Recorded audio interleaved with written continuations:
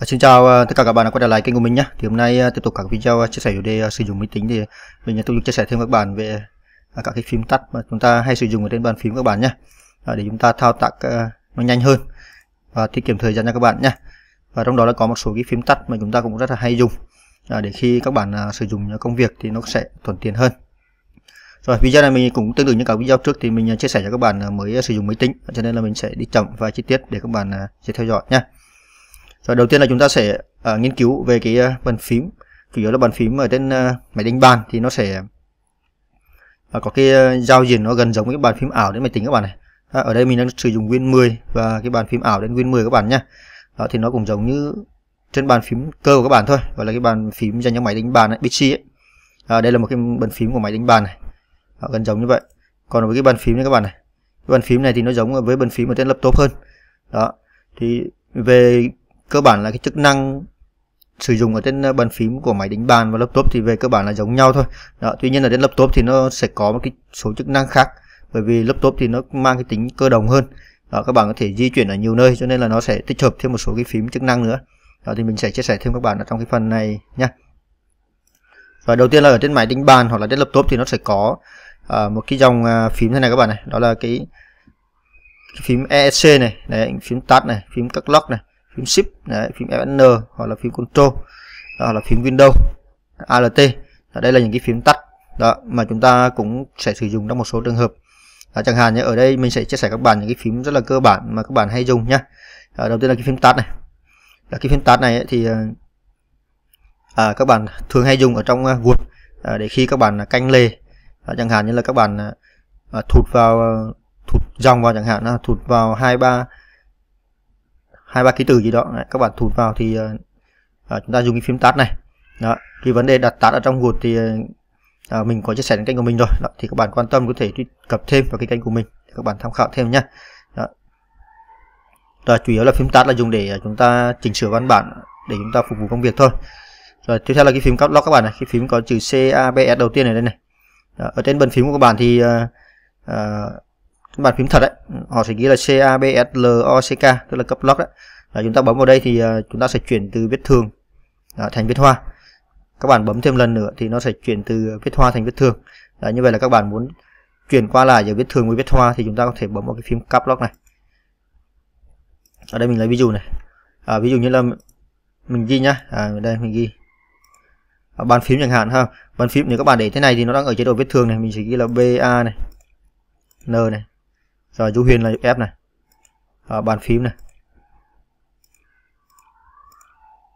Đó ở đây cái chữ B này thì ờ, do là ký từ đầu tiên của của dòng cho nên là vụt họ sẽ viết hoa thôi. Đó, hoặc là các bàn phẩy này. Đó, mình sẽ ghi là à, phím bấm chẳng hạn ha phím bấm thì im này. Đó. Các bạn thấy không? Như thế này thì nó sẽ viết thương hết. Còn trường hợp các bạn bấm vào các lock lần nữa này thì chuyển thành viết hoa hết. Thì lúc này chúng ta sẽ viết hoa toàn bộ luôn. Đấy, ví dụ như đây mình ghi là bàn phím đây thì chúng ta sẽ bấm lại. Bàn phím này phím này. Đó thì trong thời gian vừa qua có một số bạn cũng có hỏi mình uh, về cái cách chuyển từ viết thường thành viết hoa hay là viết hoa thành viết thường đối với các bạn mà mới sử dụng Word ở trên máy tính ấy đó thì chúng ta có thể sử dụng cái phím caps lock này. Rồi tiếp theo là cái phím shift này này.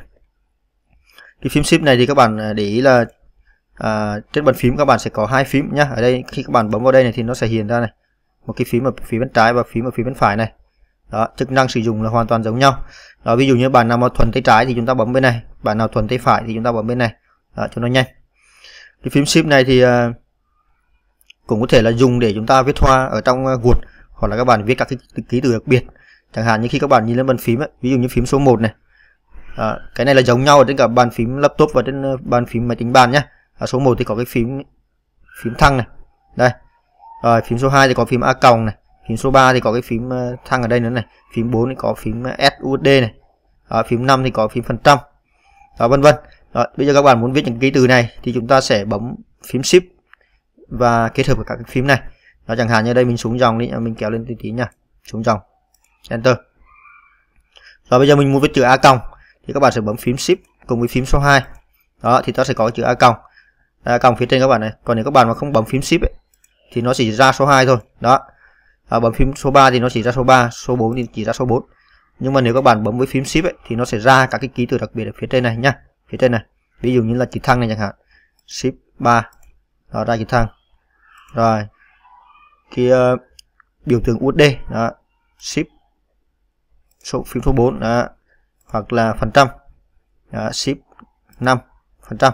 Đấy vân vân ví dụ như mình viết là 100 phần trăm chẳng hạn thì một này không không này rồi ship phần trăm đó ví dụ như thế. Đơn giản như vậy thôi hoặc là trừ này đó a còng à, trừ này không? đó. Một ký từ rất là đặc biệt ở trên ờ, trên uh, Word hoặc là cái dấu mở ngoặc này. Mở ngoặc đây cũng vậy? Các bạn bấm vào ship này số 9 là mở ngoặc này. Rồi tiếp theo là ship này số 10 đóng ngoặc. Đó như vậy là muốn viết mở ngoặc đóng ngoặc các bạn phải bấm cùng với phím ship nha và các bạn quan sát cái phím ở phía trên này có những ký tự đặc biệt nào chúng ta cần dùng thì chúng ta sẽ bấm với phím shift. Rồi đó là khi chúng ta sử dụng phím shift các bạn nhé. Ngoài ra thì cái phím shift này các bạn có thể sử dụng để các bạn viết hoa. Đấy, chẳng hạn như là à, khi mà các bạn muốn viết chữ A viết hoa chẳng hạn chúng ta chúng ta lại bấm cùng với phím shift luôn. Shift A này thì chúng ta sẽ được chữ A viết hoa luôn. Đó hoặc là chữ G viết hoa. Các bạn dùng hai ngón tay nhá. Các bạn à, bấm cùng lúc hai phím là shift G. Đó thì chúng ta sẽ được chữ G viết hoa cái cách này chúng ta hay sử dụng khi chúng ta soạn thảo văn bản ở trên Word nhé tức là gõ tiếng Việt à, có dấu đấy. Khi cần viết hoa thì các bạn à, bấm cùng với phím shift hoặc là chữ T viết hoa thì shift T phím T. Đó. Còn nếu các bạn mà không bấm với phím shift ấy, thì nó chỉ ra chữ thường thôi chẳng hạn như chữ U thường này. À, chữ U thường nếu các bạn muốn viết hoa thì các bạn bấm cùng với phím shift này shift U này. Đó, thì nó sẽ ra chữ U viết hoa. Đấy, khá nhanh như vậy các bạn nhé và tiếp theo là cái phím à, uh, FN à, cái phím FSN này thì các bạn à, chủ yếu là chúng ta sử dụng hay sử dụng ở trên laptop. À, thì nó à, nhiều hơn. Ở trên laptop thì nó sẽ có một cái chức năng đó là tổ hợp phím FSN ở đây mình sẽ lấy cái bàn phím à, laptop để cho các bạn à, quan sát này. Đây. À, bàn phím laptop thì nó sẽ có một số cái biểu tượng ở đây các bạn này. À, chẳng hạn như là cái phím à, F1 nó tắt loa này F2 thì à, mở loa này. Đó. Bởi vì trên laptop thì họ sẽ có các ký từ họ hiển sẵn ở đây luôn cho các bạn. Để các bạn sử dụng khá thuận tiện ở trên máy tính bàn thì mình cũng thấy là ở đối với các bàn phím phổ thông các bạn nhé phím giá rẻ chẳng hạn như từ 100 đến 200 rưỡi chẳng hạn thì không có. Đấy, có thể là phím cao cấp thì có thể có nhá.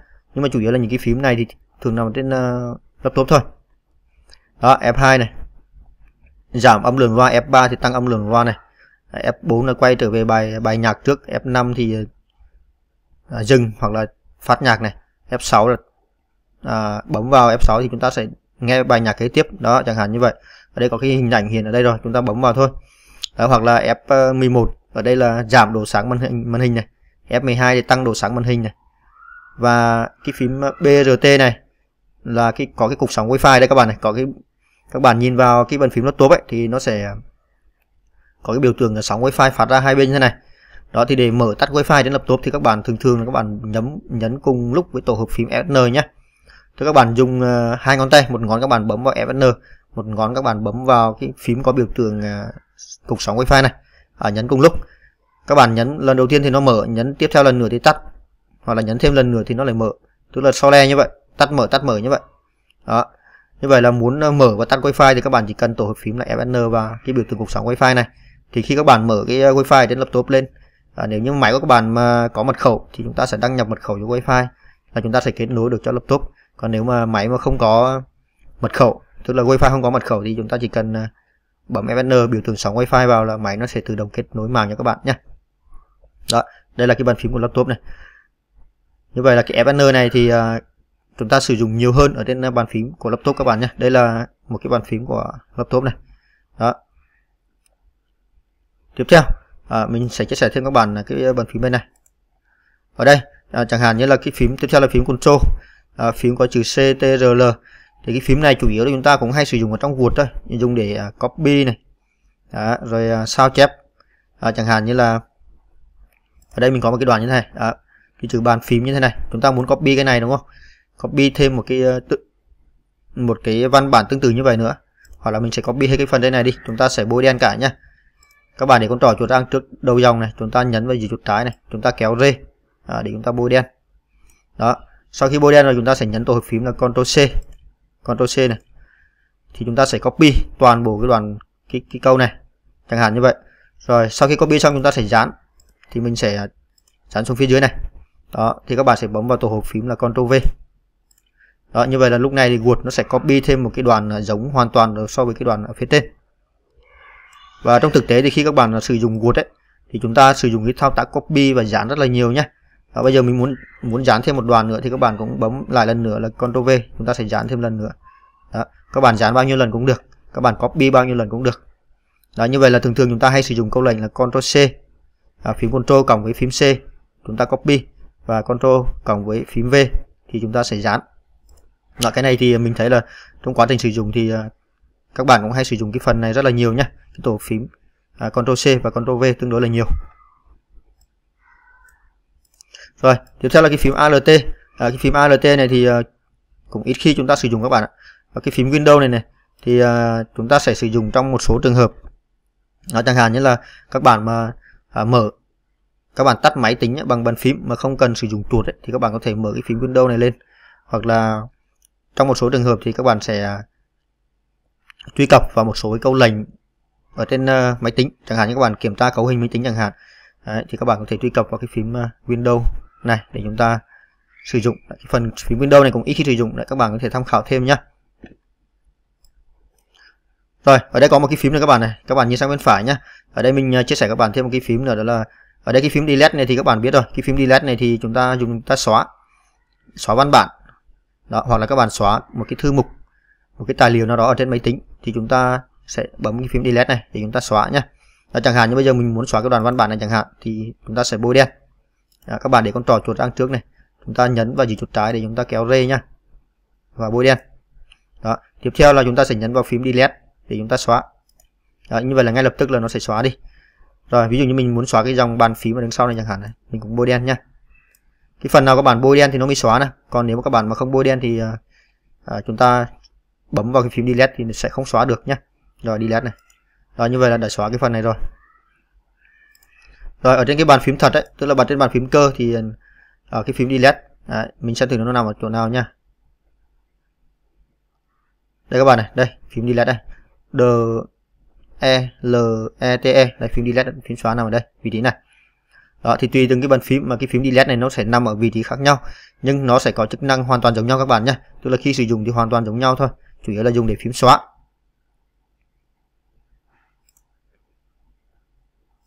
Rồi một cái phím ở đây này các bạn này. Ở trên trên bàn phím của laptop hoặc là trên uh, máy tính bàn thì nó còn có một cái bàn phím dùng để chụp màn hình máy tính. Đó là cái bàn phím ờ, uh, BRTSCN này, này. Cái bàn phím này thì dùng để uh, chụp lại những cái hình ảnh trên máy tính. Mà trước đây thì mình đã có chia sẻ các bạn uh, trong video trước rồi. Đó. thì để chụp màn hình máy tính thì các bạn chỉ cần bấm vào cái phím này. Nếu như các bạn bấm vào cái phím này mà không được ấy thì các bạn sẽ bấm cùng với cái phím FN nhé tức là nhấn cùng lúc phím FN và phím BRT này. Rồi bây giờ mình sẽ nhấn vào cái phím này các bạn nhé. Đó là BRT SCN này. Chúng ta nhấn vào đây nhá. Chúng ta bấm một lần thôi. À, để xem thử là máy tính nó sẽ chụp màn hình máy tính được không nhá. Rồi sau đây các bạn mở cái ứng dụng Ben lên. Ở trên Windows 10 các bạn kích vào cái phần kinh loop này. Và chúng ta gõ vào cái từ là BA để mở cái ứng dụng à, vẽ trên máy tính lên. Ben B A N B A I N T. Rồi tiếp theo các bạn bấm vào cái phím à, Ctrl V nhá. À, Ctrl V để chúng ta dán vào dán cái hình ảnh chúng ta chụp vào. Ctrl V này. Đó. đó mình chụp lại các bạn này. Đó cái này các bạn phải nhấn ở trên bàn phím thật nhá. Còn nếu mà mình thấy là thao tác trên bàn phím ảo thì à, không có được. Đó. Tức là các bạn nhấn phím Ctrl V này ở trên bàn phím của các bạn ấy thì sẽ được nhá. Đó. Như vậy là sau khi các bạn chụp được màn hình máy tính như thế này rồi ấy thì chúng ta sẽ à, lưu cái file này lại. Đó. Để lưu thì các bạn chỉ cần uh, bấm vào file đây. Đó vào vào cái phần save as này. Save as nhá. Chúng ta bấm vào đây rồi tiếp tục là chọn nơi lưu. Ở đây. Đó, ví dụ như là à, mình sẽ chọn là hình nền máy tính đây. Đó, hình nền máy tính. Rồi thì sau khi đặt tên file name xong ấy đó thì các bạn sẽ bấm vào save để chúng ta lưu nhá. Đó, thì cái file này lúc này các bạn chụp thì nó đã, đã nằm trên à, màn hình máy tính của các bạn ở trong máy tính của các bạn rồi. Đó, chẳng hạn mình mở lên xem thử thế nào này. Đó, mình vào vào lại dịch nhá hoặc là my computer này à, lúc này là mình lưu đến ổ đĩa D nhá. Chúng ta mở lên này. Đó cái hình lên máy tính thì lúc này mình đã chụp ở đây này. Đây. Đó như vậy là hình lúc này mình chụp ở đây các bạn này. Đấy khá đơn giản nhá. Một cái thao tác rất là đơn giản thôi. Các bạn tìm cái phím BRT SCN để chúng ta à, chụp màn hình máy tính thôi.